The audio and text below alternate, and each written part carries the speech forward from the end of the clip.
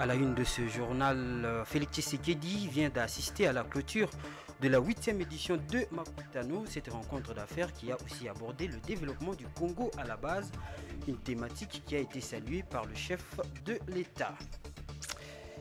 Et puis au-delà de nos frontières, le Sénégal veut compter parmi les producteurs mondiaux du gaz, mais avant d'y arriver, le pays de Macky doit gagner le pari de la mise en production de son projet Grand Tortue à Meilly. Bonsoir et bienvenue, mesdames et messieurs, à cette édition du journal. Un invité ou un intervenant dans ce journal, Patrick Ilunga, à qui je dis bonsoir. Bonsoir, fiston Oleko. Avec vous, nous allons parler justement de la question de la paix à l'est du pays, mais aussi de, du processus de Nairobi. Mais avant tout, nous allons parler de l'actualité. Clap de fin pour la huitième édition du Forum économique Makutano. Après trois jours de discussion, la huitième édition de ce rendez-vous a été clôturée en Bougimaï dans le Kassai oriental en présence du président de la République Félix Tshisekedi. Le chef de l'État qui a salué les réflexions et mises au cours de ce Makutano s'est également euh, félicité de la teneur des discussions tournées entre autres autour euh, du programme de développement local de 145 territoires. Suivez.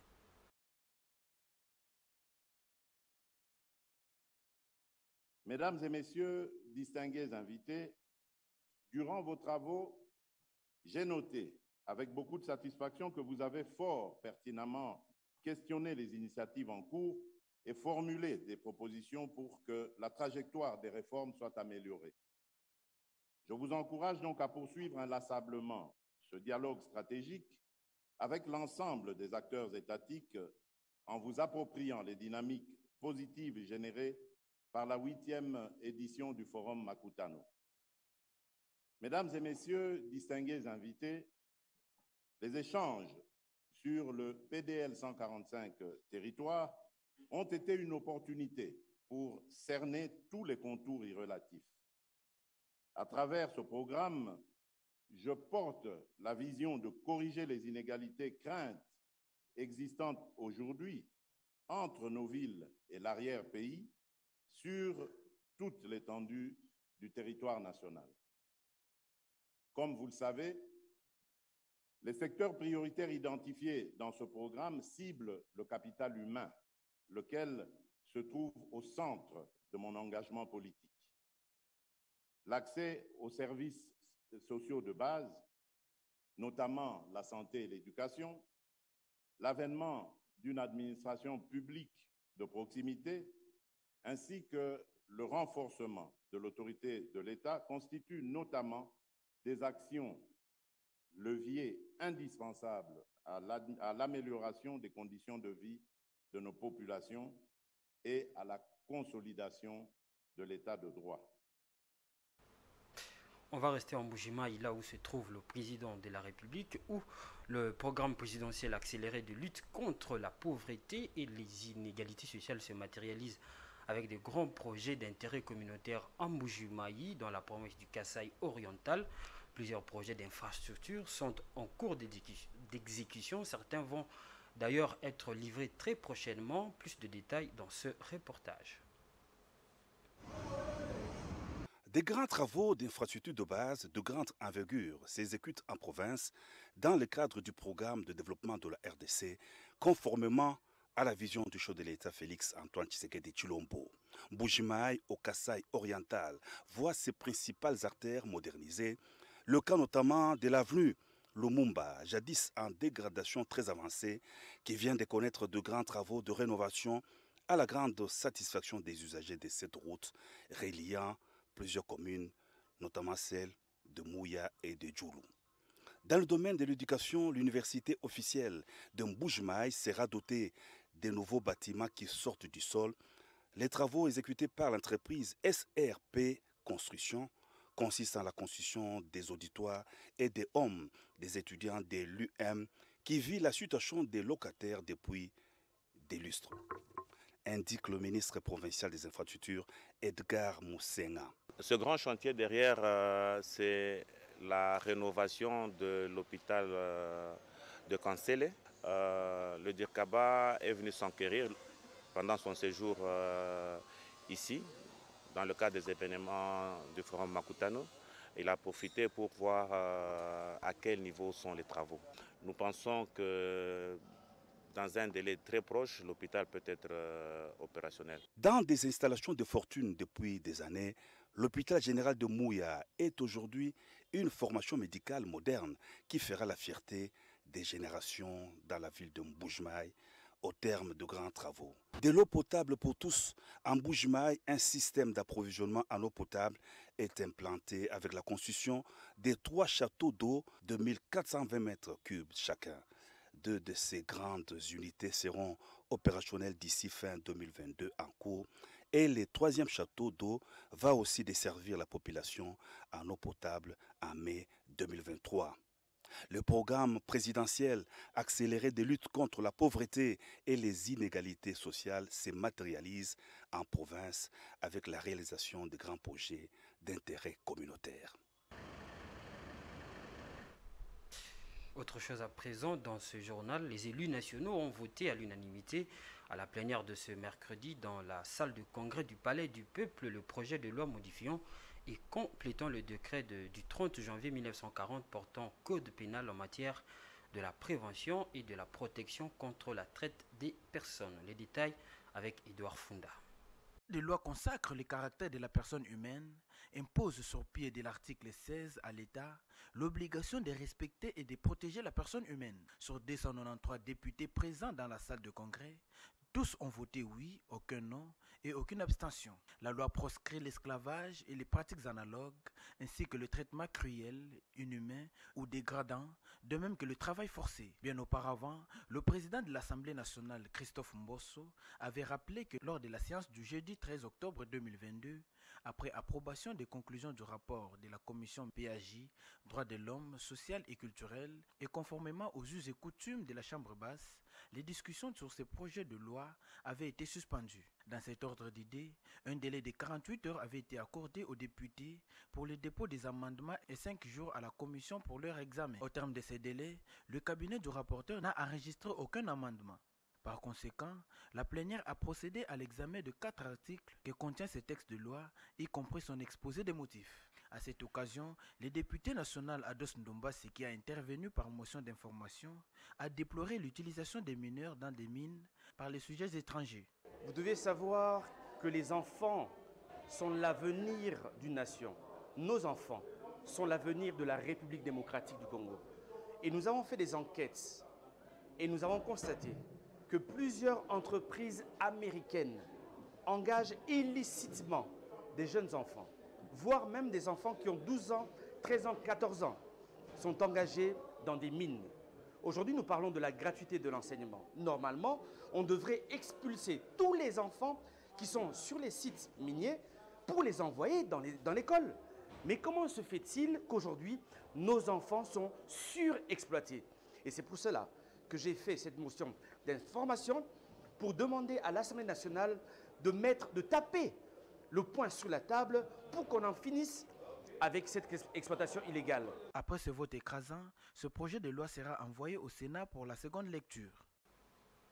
Selon une source au Kenya, le processus de Nairobi devrait reprendre au début du mois de novembre. Le gouvernement congolais et les groupes armés qui ont adhéré au processus de paix devraient se retrouver autour d'une même table pour la troisième fois dans la capitale kenyane. Les pourparlers iront du 4 au 13 novembre. Les explications avec Patrick Ilunga. Pendant un peu plus d'une semaine, les groupes armés ayant choisi le chemin de la paix vont être consultés par les émissaires du président Félix Tshisekedi. C'est pour parler iront du 4 au 13 novembre. Ce sera le troisième round de consultations dans la capitale kenyane pour la recherche de la paix. Côté facilitation, rien n'a été précisé si l'ancien président Uhuru Kenyatta, initiateur de ces négociations, sera de la partie, étant donné qu'il n'est plus président du Kenya. L'ancien président avait été néanmoins désigné par son successeur William Ruto pour suivre le processus de paix dans les Grands Lacs. Pour les participants, on s'attend à une trentaine de groupes armés autour de la table, comme cela avait été déjà le cas lors de deux premiers rounds des travaux. Les consultations de Nairobi seront relancées dans un contexte de reprise de la guerre le M23 impose à la RDC. Ce groupe rebelle, classé désormais comme groupe terroriste, avait été exclu du processus. Le M23, comme l'ensemble des groupes armés qui n'ont pas adhéré au processus de paix, subiront la force de la loi. C'est cela le volet militaire du processus de Nairobi. Voilà, vous avez reconnu la voix de Patrick Ilunga qui ici sur ce plateau comme intervenant. Avec lui, nous allons parler justement de cette question du processus de Nairobi, dont, euh, qui va reprendre bien évidemment au mois de novembre prochain. Patrick Ilunga, dites-nous un tout petit peu, que peut-on attendre de cette rencontre? Euh, D'abord, il faut dire que les consultations euh, avec les groupes armés avait été appelé à l'initiative des chefs d'État de, de, la communauté d'États d'Afrique de l'Est. Alors, selon nos informations, selon mes informations à moi, c'est le président Uhuru Kenyatta qui aurait soufflé ça aux autorités congolaises. Mais selon certains experts, en réalité, l'idée venait des autorités rwandaises qui auraient vendu cette idée au, chef de l'État kenyan. Mm-hmm. euh, et euh, l'idée, c'était, euh, selon cette hypothèse-là, les autres groupes armés devaient venir, mais aller servir juste un peu de paravent. Mais le, noyau des discussions allait tourner autour de M23, selon euh, cette hypothèse-là. Et donc, je crois que c'est pas faux. C'est pas faux quand vous regardez même le, ce qui, ce qui s'était fait au premier round de discussion, parce qu'il faut dire que les M23 étaient autour de la table des discussions étaient invités et ils étaient présents, leurs représentants étaient là. Mais c'est Ils ont fait les déplacements de Nairobi. Oui, ils avaient été invités, ils étaient autour de la table. Mais c'est quand les discussions de Nairobi ont commencé, comme par hasard, ça coïncidait avec les premières attaques des M23, des M23 dans les Rutshuru. On parle de deux factions des M23. De deux factions, tous les deux, toutes les deux factions étaient là, mais ah, ils, avaient été, ils avaient été chassés Bon, je crois que c'était un, coup raté parce que selon leurs calculs, selon en tout cas euh, ma réflexion, ils voulaient à ce que avec cette attaque, ils montent un peu les enchères. Mais coup raté, les autorités congolaises avaient estimé que c'était pas, euh, c'était pas, donc c'était vraiment euh, très déplacé. Ils ont exigé et obtenu euh, qu'il soit chassé de, de, des négociations. Alors, votre question, que peut-on attendre de, de, ces, de ces consultations? Ah, D'abord, il faut, il, faut, il faut bien préciser, les autorités congolaises ne parlent pas des négociations, mais plutôt de consultations. Mm. Donc, la différence sémantique, elle n'est pas à négliger. Voilà. L'idée, c'est de revenir ou bien obtenir à ramener les différents combattants à la vie civile les autorités congolaises sont très fermes là-dessus. Il ne s'agira pas de réintégrer certains dans l'armée, mais plutôt ramener tout le monde à la vie civile selon ou bien grâce au programme qu'on appelle des, euh, des, mobilisations et réinsertion et consorts. Mais le problème, c'est que ce programme-là a connu déjà un grand couac, le premier couac, parce qu'il y a eu quelques volontaires déjà avant les négociations de Nairobi qui se sont rendus donc volontairement. Ils ont été placés dans des camps, mais ils étaient sans moyens financiers, sans soins médicaux, presque sans rien à manger quelques-uns étaient tombés malades et deux d'entre eux avaient été, dont avaient perdu la vie, étaient, étaient morts, ce qui avait poussé certains de, de, revenir, ou bien la plupart d'entre eux de revenir dans, dans la vie des, de groupes armés. Donc c'est le, le, le, défi qui va peut-être suivre les négociations ou bien les consultations de, de Nairobi. Mais il y a autour de, de ces questions-là un grand problème. Si vous voyez, euh, le première et deuxième consultation, c'était autour de 20 ou 30 groupes, euh, représentants de groupes armés. Mm. Or, on parle bien de Kivu euh, et de l'Ituri où on compte semble-t-il, 120 ou bien 130 ou bien 110 groupes armés. Mais même si tous les caïds ou bien tous les chefs de bandes de, groupes armés veulent participer aux négociations de Nairobi, ils vont être butés à un problème administratif parce que chacun, bien tout le monde n'a pas forcément les documents de voyage pas forcément de passeport pour se déplacer. Donc c'est le premier euh, quoi, ou bien premier problème administratif, premier obstacle administratif auquel ils peuvent être butés, mais il y a aussi des problèmes logistiques qui peuvent se poser. Comment faire déplacer? Imaginons que tous les 120 chefs de groupe soient volontaires pour participer. Comment faire déplacer 120 personnes aller à Nairobi Ça peut poser le problème de logistique. Donc, on, est un peu buter à, ces problèmes-là selon mon analyse. Merci beaucoup Patrick Est-ce qu'on peut, on peut imaginer dans ce processus ou dans ce processus de consultation, tel que vous l'avez dit, le gouvernement tient à ce que ça soit une consultation? Est-ce qu'on peut imaginer l'hypothèse selon laquelle le M23 euh, réintègre en fait ce processus? Alors, si vous suivez bien mon, euh, commentaire tout à l'heure dans l'élément qui est passé, les négociations vont reprendre, selon nos informations, début novembre. Euh, mais c'est dans un contexte où il y a grande hostilité entre l'armée régulière, les FRDC, et les M23. Donc, au stade actuel des choses, non. Les M23 ne peuvent pas être réintégrés. Mais rappelez-vous qu'ils euh, étaient là au départ. Ils avaient été chassés et ils avaient été classés depuis mouvement terroriste.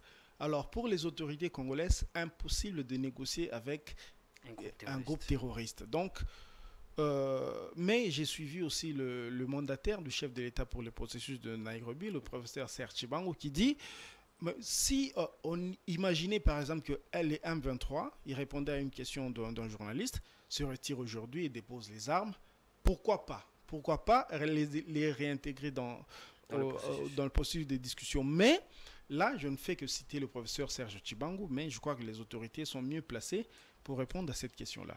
Est-ce que peut-être une dernière question Est-ce qu'on peut penser que cette euh, troisième ronde, comme vous avez dit dans le reportage, est une solution à ce problème des affrontements ou de mésententes entre le gouvernement congolais et le, le, M23 C'est une solution, voilà, de manière générale, à ce problème à l'est du pays.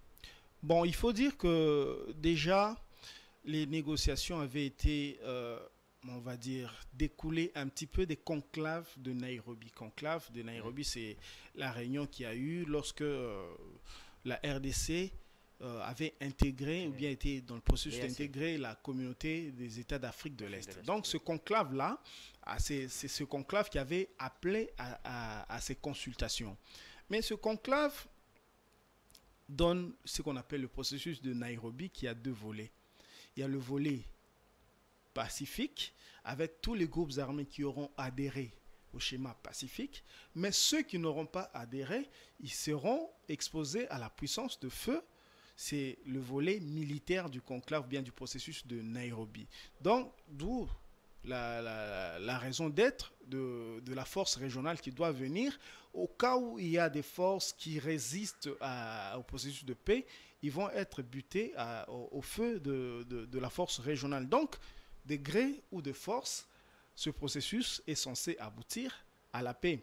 Mais euh, il faut connaître aussi un petit peu l'Est de la République démocratique du Congo pour répondre. C'est-à-dire que l'Est, à l'Est, il y a des groupes armés qui n'existent que pour défendre leur communauté.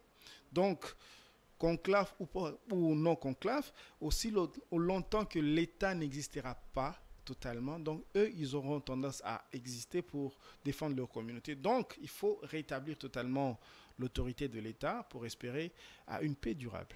Il faut rétablir l'autorité de l'État. Ce serait votre dernier mot, Patrick Ilunga. Merci d'être passé à ce journal, la grande édition des Géopolices. C'est moi qui vous remercie. Poursuivons avec euh, l'actualité. Plus de 2000 personnes ont été tuées cette euh, année dans le Kivu et en Ituri. C'est le représentant des États-Unis d'Amérique au Conseil de sécurité qui donne ces chiffres à l'occasion de la réunion de l'organe euh, suprême de l'ONU sur les Grands Lacs mercredi pour les États-Unis d'Amérique. La paix à l'Est reste la paix, à l'Est de la République passe par une solution politique. Washington exhorte les acteurs étatiques de cesser de soutenir ou de soutien, de cesser le soutien aux groupes rebelles. Suivez. Les attaques euh, de groupes armés, y compris le IL, la RDC, Codeco, le M23, ont tué plus de 2000 civils cette année. Cette violence est inacceptable. Les États-Unis appellent les groupes armés à cesser leurs assauts contre les populations les plus vulnérables de la RDC. Nous appelons également les acteurs étatiques à stopper leur appui à ces groupes, y compris les forces de défense rwandaises et leur aide au M23 la MONUSCO reste essentielle pour apporter la paix à l'est de la RDC, la RDC et la région.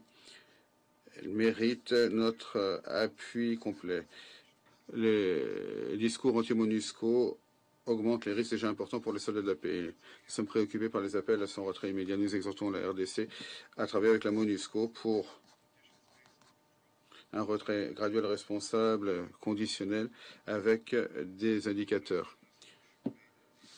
Personne ne pourrait dire que la MONUSCO doit rester à jamais en RDC, mais elle a une tâche importante qui est conforme aux intérêts de l'ensemble de la région des Grands Lacs, protéger les civils, perturber les réseaux illicites et aider à stabiliser la gouvernance et les institutions sécuritaires. Les États de la région, en bilatéral comme à travers la CAE, ont également déployé des soldats pour faire face à l'insécurité croissante dans l'est de la RDC. Alors que ces efforts avancent, il est impératif qu'ils n'aggravent pas une situation déjà tendue.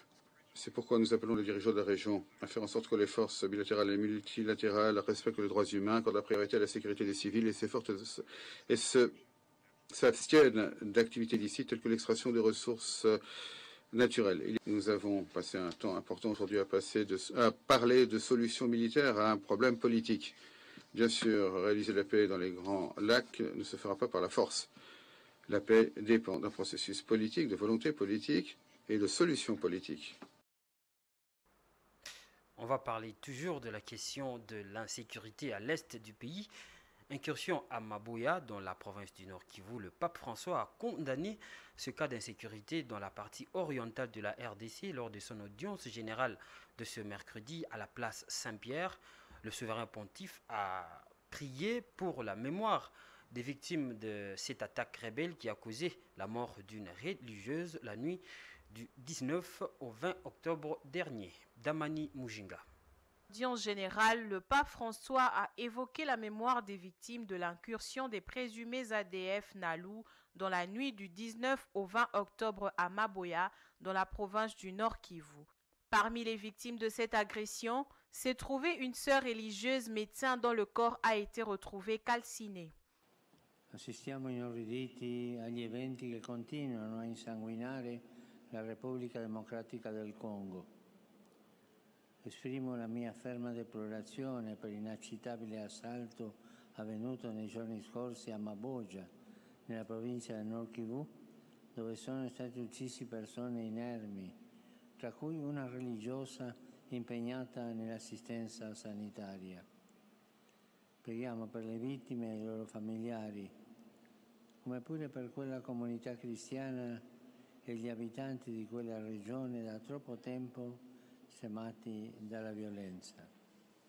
L'attaque de Maboya a fait sept victimes. Les assaillants avaient incendié le bâtiment et saccagé l'ensemble du bâtiment qui constituait la structure de santé catholique, mais également le couvent voisin. Il faut noter que le pape François se dit toujours très préoccupé par ce qui se passe dans la partie orientale de la RDC, raison pour laquelle il a tenu venir sur place pour une visite de compassion, n'eût été ses malaises au niveau de la santé.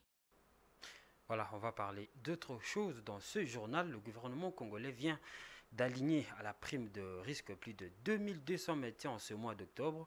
Selon le ministre de la Santé, cet alignement concrétise l'un des engagements pris par le gouvernement lors de l'atelier euh, lors de, euh, l'atelier des travaux de Bibois 2 sur l'harmonisation de l'enveloppe salariale et l'alignement des professionnels de santé. Patience Lokeke et Enoch Issei. Plus de 2200 médecins viennent d'être alignés à la prime des risques professionnels en ce mois d'octobre par le gouvernement congolais via le ministère de la Santé publique, Hygiène et Prévention. Question d'honorer ses engagements au sujet des revendications des professionnels de la santé. Selon le ministère de la Santé, cet alignement concrétise l'un des engagements pris par le gouvernement lors de l'atelier des travaux des Biboidé sur l'harmonisation de l'enveloppe salariale et l'alignement à la prime des risques de médecins, infirmiers, administratifs et autres professionnels de santé des services publics de l'État, tenu du 6 au 10 octobre dernier. Il s'y de préciser que toutes les démarches ont été effectuées en bonne et due forme par le secrétaire général à la santé publique, hygiène et prévention, qui a transmis le listing au ministère du budget pour la faisabilité. Selon le communiqué du ministère de la Santé, cette nouvelle traduit la volonté du gouvernement Samaloukoundé qui s'est résolument engagé à satisfaire et surtout à améliorer les conditions sociales des professionnels de la santé. Elle répond également aux avantages et mécanismes en salaire de 1000 médecins sur proposition à l'admission sous statut des 13 364 médecins. On va quitter la santé pour parler de l'agriculture, l'amélioration du secteur agricole dans la ville-province de Kinshasa pour euh, générer des recettes dans le trésor public Partant de la création du fonds d'appui, telle est la proposition de loi soumise et adoptée à l'Assemblée provinciale de Kinshasa par les élus provinciaux. Enoki les députés provinciaux ont au cours d'une plénière convoquée mercredi 26 octobre à l'Assemblée provinciale de Kinshasa adopté la proposition dédiée portant création d'un fonds d'appui au secteur agricole dans la ville-province de Kinshasa initié par le député provincial Magloire Kabimba. D'après ces derniers, ces fonds vont favoriser la croissance des produits intérieurs bruts de la République démocratique du Congo et l'amélioration de la capacité d'exportation pouvant ainsi excéder la balance commerciale. Le député provincial indique que cette proposition dédiée qui vient d'être adoptée à l'Assemblée provinciale de Kinshasa sera envoyée le plus tôt possible au niveau du gouverneur de province pour qu'il puisse le promulguer. Signalant qu'au cours de cette même plénière, les députés provinciaux ont également adopté plusieurs rapports, notamment le rapport de la Commission économie et finances sur l'octroi de l'utilisation des plaques de l'hôtel de ville de Kinshasa et celui portant sur la situation de la société New Retranskin. Une page d'histoire dans ce journal. Le 27 octobre 1971 est la date où le président Mobutu a changé le nom du pays de la République démocratique du Congo à la République du Zaïre. Il s'agit là d'un élément de toute une philosophie, de toute une philosophie révolutionnaire qui l'imprimait axé sur le recours à l'authenticité bantou. Les noms du fleuve, de la monnaie, voire le drapeau se sont vus être changés. Mais quelle est la motivation euh, primordiale de ce basculement? La réponse avec ce récit de la rédaction. L'authenticité, c'est quoi? D'abord, pour nous Aïrois, c'est une question de dignité. C'est le respect dû à ses origines, pendant son règne, six ans après son accession au pouvoir, le président Mobutu a renommé le pays, le fleuve et la monnaie nationale sous le nom du Zaïre, ce qu'on appela à l'époque le fameux 3Z. Nous sommes le 27 octobre 1971 ce qui rentre dans la politique qu'il a opté de recours à l'authenticité bantou. Une révolution holistique qui s'est poursuivie jusqu'au changement des noms des Aïrois et de l'interdiction stricte du port du costume et cravate. Mais le changement là, Mobutu a récupéré la partie visible et invisible de l'ouvrage intitulé Remise en question, base de la décolonisation mentale de Mabika Kalanda, d'heureuse mémoire. En fait, Mobutu a organisé, animé, entretenu la révolution culturelle. Malheureusement, Mobutu n'a pris que l'aspect qui renforçait son pouvoir personnel. C'est comme ça que, depuis le 24 avril 1990, il a permis que les gens récupèrent leur nom. Le deuxième président de la République démocratique du Congo a aussi procédé à ce qu'on appela la zaïrianisation. La gestion de tous les facteurs de production était revenue aux Aïrois qui n'ont pas su s'y prendre. Les conséquences sont récentes jusqu'à nos jours, 51 ans après. Sommes à Kinshasa. Rien qu'en prenant la commune délimitée, la partie quartier industriel, il y a combien d'industries? Il n'y en a presque plus. Imaginez-vous, monsieur Oleko, du jour au lendemain, on vous donne une pharmacie. Vous n'êtes ni pharmacien, ni commerçant, ni quoi. Comment ça pouvait marcher? Nous payons les conséquences jusqu'à aujourd'hui. Il y a quelques jours, j'ai lu que toute l'économie est dans les mains des étrangers parce que nous avons échoué. Ces gens-là sont revenus, ils prennent tout.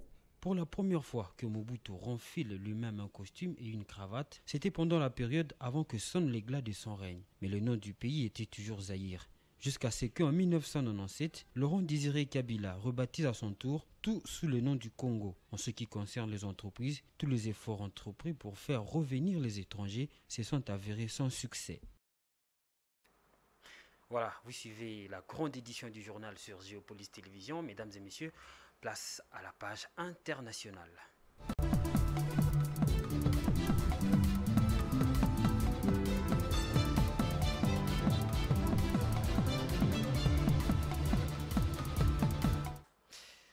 L'actualité internationale nous emmène en Angola où les banques ont eu une performance globale positive l'année dernière, indique une étude réalisée par la Société du Conseil Deloitte, cette étude a été présentée le mardi dernier à Luanda. Suivez nos confrères d'Africa 24. Les banques en Angola ont eu une performance globale positive l'année dernière, indique une étude réalisée par la société de conseil de Loite présentée mardi à Luanda. L'action du gouvernement et la réduction de la dette publique ont eu un impact sur le secteur financier du pays. Le secteur est resté résilient, marqué par une hausse de la notation de la République d'Angola qui s'est traduite par moins de dépréciation pour la dette publique. Cette étude a également parlé de la croissance économique et prévoit pour 2022 une croissance du PIB d'environ 3%. Les banques robustes, les banques qui sont proches des citoyens, les banques qui peuvent en fait allouer leur liquidité à des projets viables et qui sont en fait crédibles, sont des banques qui, sur notre marché, seront en mesure de promouvoir cette croissance. Le défi est de faire en sorte que ces chiffres se reflètent dans l'économie réelle et dans la vie des populations, même si l'Angola est dans une situation particulière. Le contexte international est difficile, mais il me semble que les mesures qui ont été prises portent maintenant leurs fruits et l'Angola semble même croître dans un contre-cycle et réduire l'inflation comme d'autres pays. Une situation à laquelle le coût élevé de l'énergie et en particulier le prix du pétrole ne doit pas être étranger. Allons maintenant en Angola qui a fait ce mardi 25 octobre son entrée en tant qu'observateur du GECF, le Gas Exporting Country Forum, qui réunit les principaux exportateurs du gaz dans le monde. Il deviendra membre de plein droit quand le gisement Grand Tortue à Meyim GTA entrera en production l'an prochain. Cette entrée, euh, cette entrée qui marque un tournant décisif de la politique gazière sénégalaise le met aux côtés des pays comme le Nigeria et l'Angola. Edouard Funda.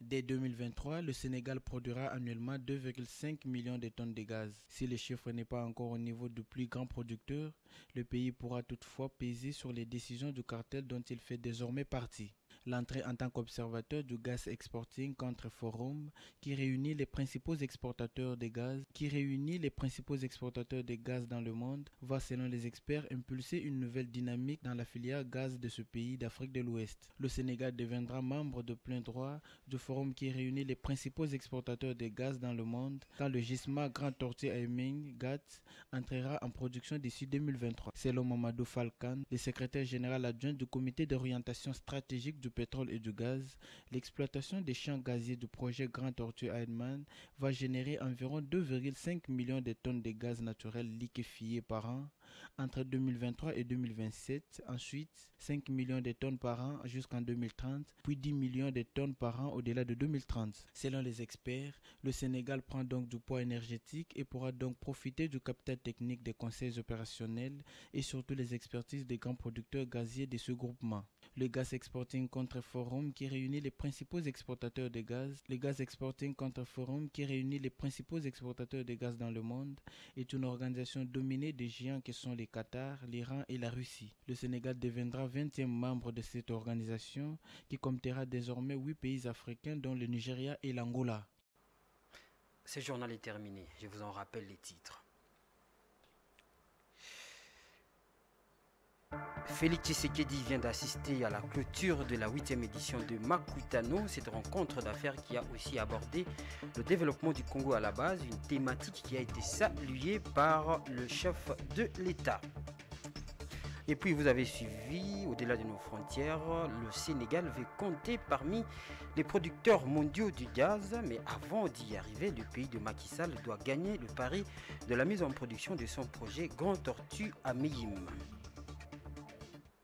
Ce journal est complètement terminé. Merci de l'avoir suivi. Bonsoir chez vous.